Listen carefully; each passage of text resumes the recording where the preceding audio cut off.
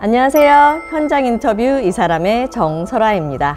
작년에 이어 올해도 꾸준히 등장하고 있는 주제 뭔지 아시나요? AI, 데이터, 반도체, 요새는 2차 전지까지 이 주제들의 공통점은 네, 바로 과학이죠. 이렇게 어려운 주제까지 이야기하지 않더라도 과학은 우리의 생활과 매우 밀접한데요. 일어나 마시는 물 한 잔부터 매일 타고 다니는 자동차, 그리고 현대인의 필수품이 되어버린 스마트폰까지 전부 다 과학의 발전과 발명의 산물이라 할 수 있는데요. 그래서 오늘은 아주 가까운 곳에서 과학을 자세히 알아볼 수 있는 곳을 찾아왔습니다. 네, 여기는 바로 국립광주과학관인데요. 국립광주과학관 이정구 관장님 만나서 이야기 나눠보겠습니다. 안녕하세요. 네, 안녕하세요. 네. 네. 아, 처음 뵙는데 왜 이렇게 눈빛이 따뜻해요? 아, 네. 네, 별 말씀을요. 고맙습니다. 아, 네. 되게 멋있으시다. 고맙습니다. 네. 본인 소개 부탁드립니다. 네. 어, 5대 과학관장으로 취임한 네. 이정구입니다. 네.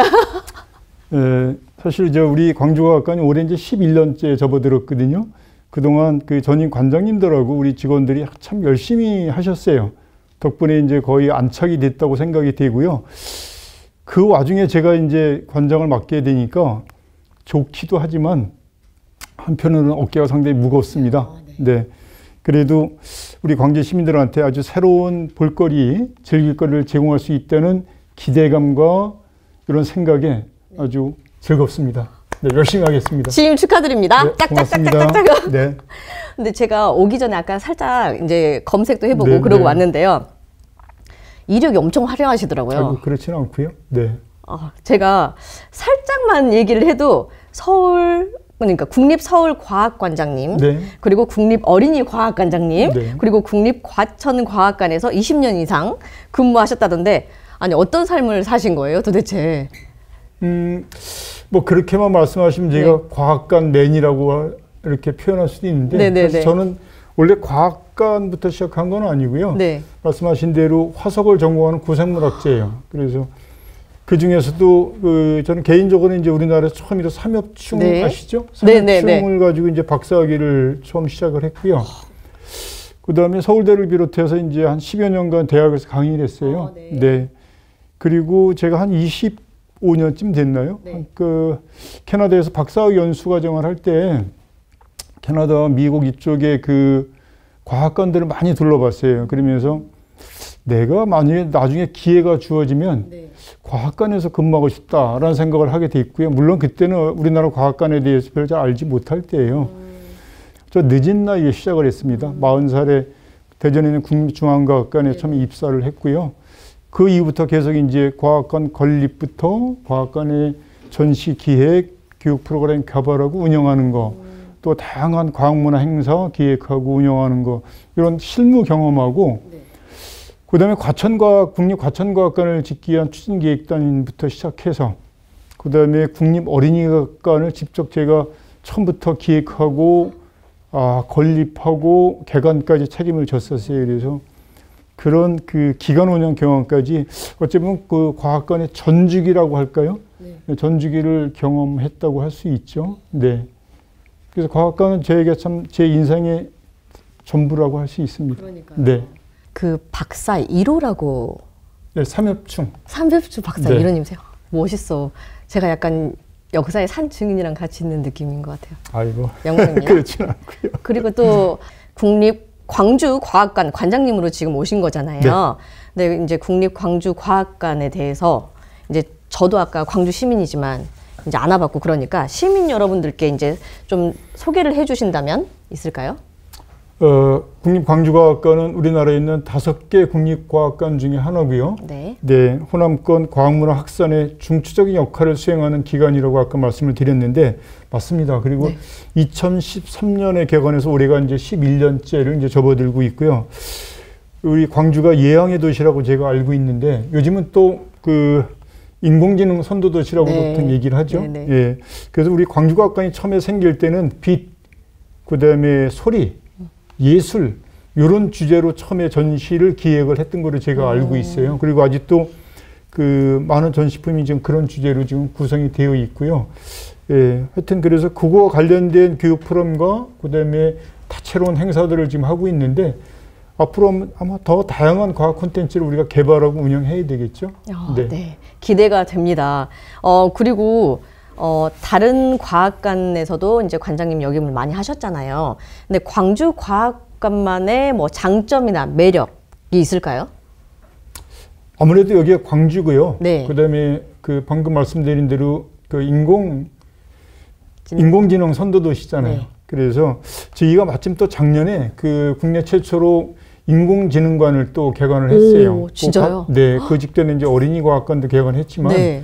그래서 어 뭐 인공지능 오디세이라든가 네. 그다음에 인공지능 골든벨 이런 프로그램도 지금 저희가 여기만 할 수 있는 하고 있는 그런 프로그램이죠. 네. 그래서 이런 인공지능과 관련된 이런 프로그램, 그다음에 행사, 교육 이런 것들을 좀 중점적으로 지금 진행하고 있고 앞으로도 더 확대할 계획입니다.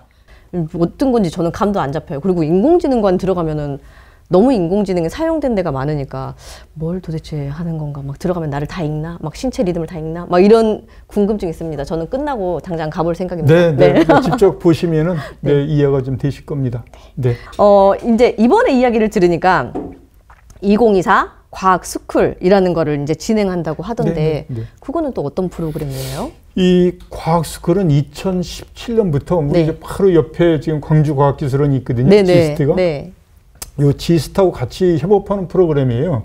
그 GIST에 있는 연구원들이 우리 저 국민들이 또 광주 시민들이 일상생활에서 궁금해하는 그런 최신 과학기술이라든가 음. 용어들도 사실 낯선 게 많잖아요. 네, 그렇죠. 그래서 그 다음에 그 과학 이슈들 되는 것들 이런 것들을 주제를 선정해가지고 지금까지 같이 이제 그 하는 프로그램 대중 강연 프로그램이에요. 네. 네, 요거는 이제 그 저희가 작년까지는 거의 매달 했었는데 오. 올해는 조금 이제 그 quality를 높이기 위해서 오. 과학관에서만 안 하고 이 옆에 과학기술원에서도 네. 같이 나눠서 하게 됐어요. 그래서 예, 산강기까지는 저희가 광주과학관 1층 상성을 해서 하고요. 네. 그다음에 하반기에는 여기 바로 옆에 광주과학기술원 지스트 네. 오령관이라는 데서 하고요. 네.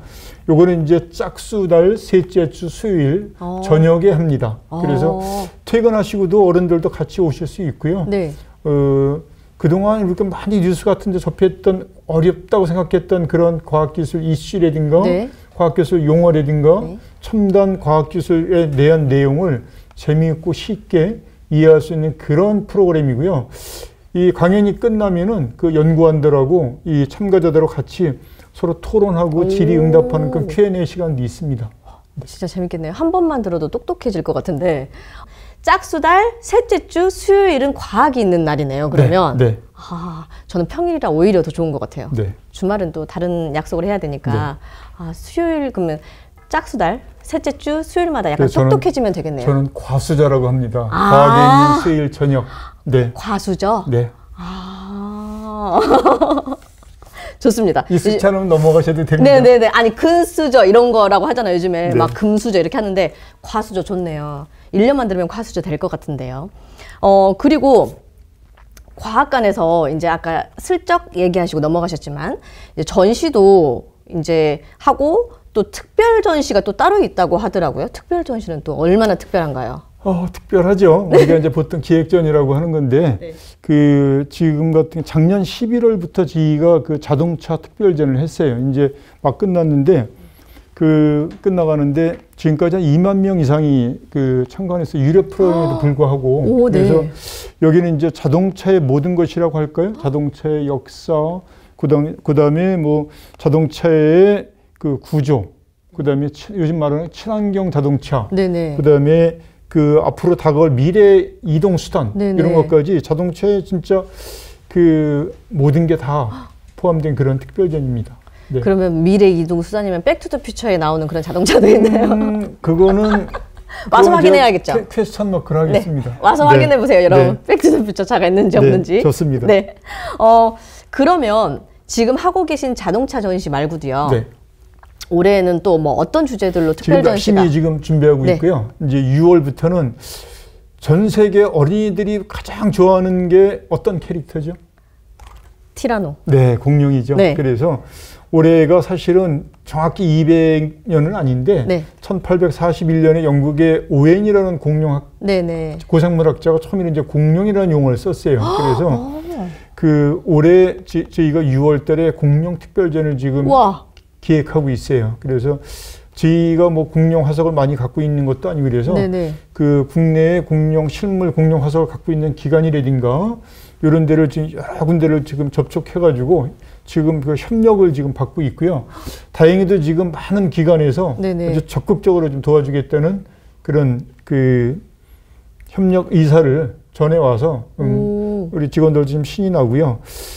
다행히 공룡만 볼 수 있는 것이 아니고 이때는 우리가 지구의 나이가 얼마라고 혹시 알고 있는지 아세요? 네. 몰라요. 약 46억 년인데 네. 46억 년 동안에 지구상에 언제부터 생물이 출현해서 어떻게 진화를 했는지 그 네. 각 지들 시대 동안의 다양한 생물들의 진화 과정도 좀 간략히라도 볼 수 있게 지금 내용을 꾸미고 있어요.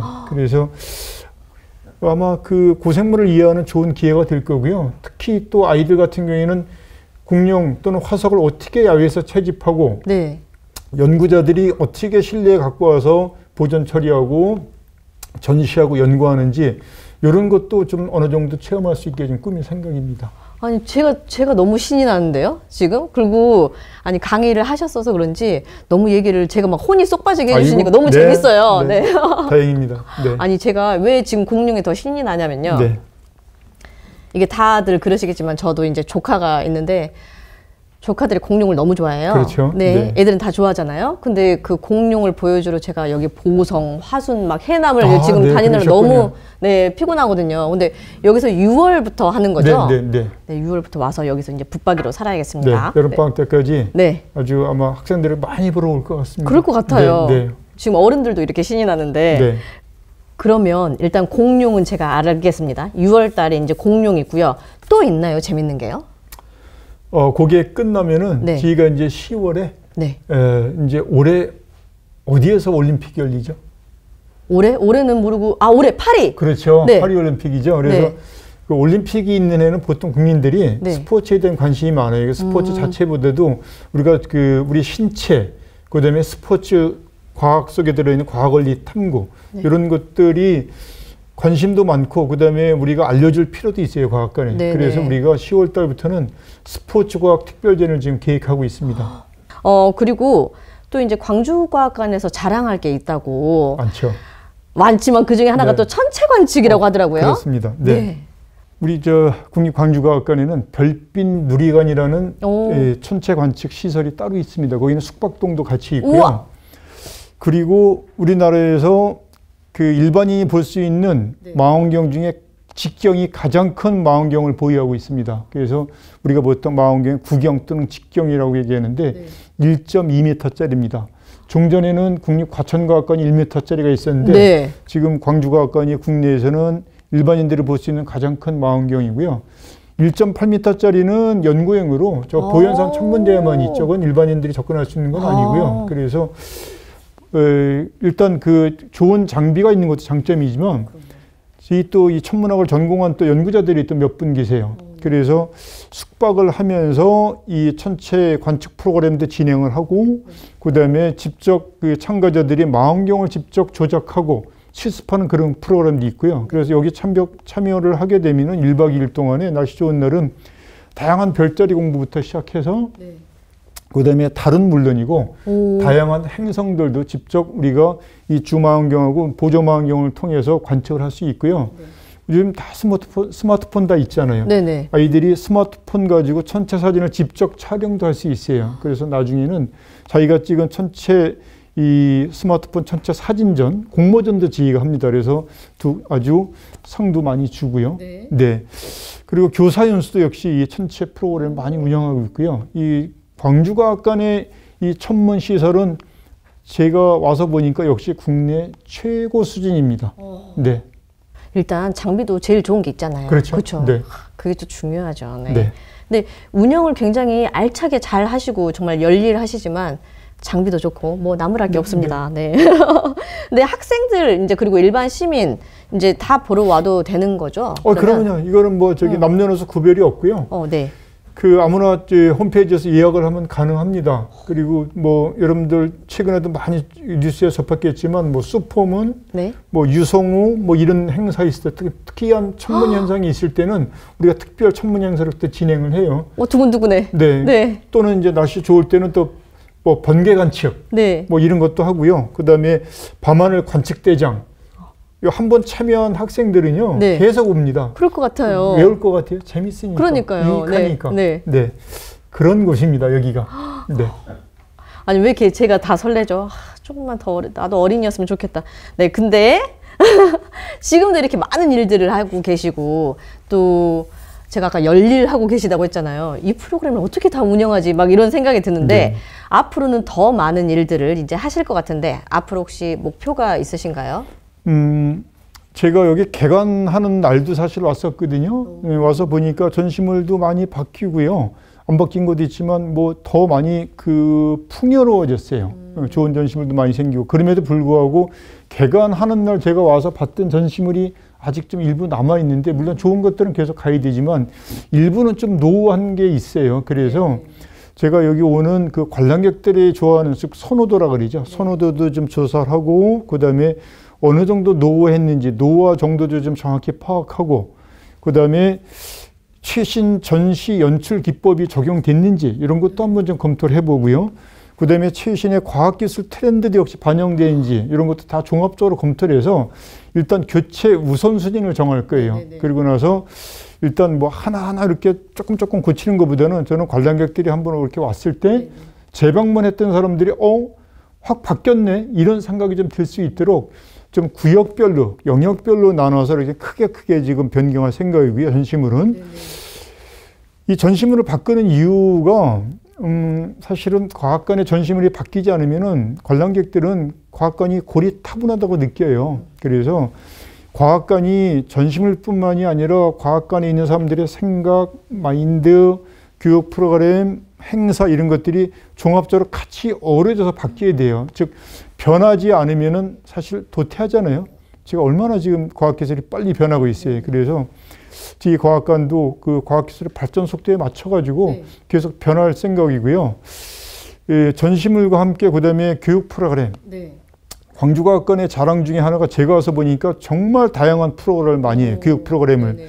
적은 인원으로 어쩌면 이렇게 알찬 프로그램들을 많이 할 수 있을까 제가 놀랐어요. 그래서 너무 많은 거를 하기보다는 저는 이제 조금 좀 정말 그 학생들이 시민들이 음. 좋아하는 이런 프로그램에 조금 그 집중해서 할 생각도 있고요. 그 다음에 아이들만을 위한 교육 프로그램보다는 저는 그 어른들을 위한 성인을 위한 교육 프로그램도. 지금 많이 지금 개발하고 운영할 생각입니다. 어, 네네. 그 다음에 과학관이 그 재밌고 즐거운 곳이래야 돼요. 그래서 남녀노소 누구나 과학관에서 아, 재밌다. 과학이 어렵고 지루한 것이 아니라 과학은 정말 우리 생활이고 즐겁다는 것을 좀 피부로 느끼고 할 수 있도록 그렇게 좀 다양한 과학문화 프로그램을 만들 생각이고요. 그래서 우리 광주과학관이 비단 이 호남권만 대표하는 과학관을 벗어나서 네. 저는 욕심 같아서는 우리나라에서 최고의 과학관으로 제 임기 동안에 오. 만들고 싶어요. 그래서 요게 만약에 된다면은 다음 관장님께서는 아마 다음 목표는 네. 세계에서 으뜸가는 과학관으로 아마 목표를 잡으시지 않을까 이렇게 기대하고 있습니다. 제가요 아까 네. 취임을 축하드린다 그랬는데요 바꿔야 될 것 같아요. 취임을 감사드립니다. 네. 네, 열심히 하겠습니다. 네. 화이팅! 네. 네. 어, 그리고, 어, 저 같은 광주 시민 여러분들께 마지막으로 한 말씀 있다면요? 아, 네. 광주 시민 여러분 반갑습니다. 네. 어, 아까 처음에 말씀드린 대로 제가 그 다섯 번째 국립과학관장으로 취임을 했습니다. 이제 온 지 한 달 막 넘었고요. 예, 와서 보니까 참 지원하길 잘했고 와서 참 감사하다는 생각을 했습니다. 왜냐하면은 광주과학관이 호남권의 대표적인 과학문화 거점 기관으로 이미 안착을 했다는 생각이 듭니다. 하지만 저는 저기 안주하지 않을 거고요. 네, 그리고 어, 이 자리를 빌어서 오늘날 우리 광주과학관이 이렇게 짧은 시간 동안에 안착할 수 있도록 도와주신 우리 광주 시민 그리고 우리 학생들 그다음에 뭐 교사를 포함해서 모든 우리 광주 가족 여러분들께 진심으로 감사의 말씀을 드립니다. 그리고 앞으로도 우리 광주과학관이 이 광주 시민들의 삶 속에 아주 평온하게 자리 잡을 수 있도록 저도 직원들과 함께 최선을 다하겠습니다. 광주과학관의 재도약과 발전을 위해서 열심히 노력하고요. 시민 여러분들의 응원을 부탁드립니다. 고맙습니다. 우와 선거 출마하시는 거 아니죠? 우와 진짜 아, 완전 네. 어쩜 이렇게 깔끔하세요 진짜 세상에나 진짜 네, 많이 부족한데요. 이쁘게 봐주셔서 고맙습니다. 아 아니에요 부족은 무슨요 아 진짜 멋있다 네 오늘 현장 인터뷰 이 사람에서는요 국립광주과학관 이정구 관장님과 이야기를 나눠봤습니다 어, 관장님과 이야기를 나눠보니까요 왜 과학은 세상을 보는 창이라고 하는 말이 저는 떠올랐습니다 어, 과학의 관점으로 보는 세상 국립광주과학관에 방문하셔서 새로운 시선으로 세상을 보는 것도 또 하나의 즐거움이 인생이 되지 않을까 싶습니다. 현장 인터뷰 이 사람 오늘은 이것으로 마치고 다음에 또 찾아뵙겠습니다. 감사합니다. 네, 고맙습니다.